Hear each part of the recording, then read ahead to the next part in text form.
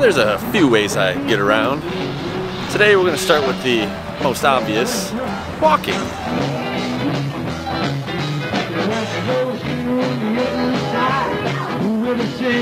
And today also happens to be one of those kind of special occasion days, so we are walking a couple blocks down to the liquor store to pick up the proper supplies.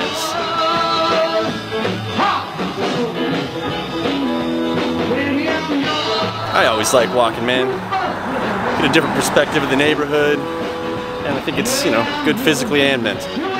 Well, Pops, I only drink this stuff twice a year. Once on the day you came into this world, and once on the day you left it. And today ain't your birthday. But we're doing pretty good out here, and we miss you. Thanks for the minute. Should have chilled that.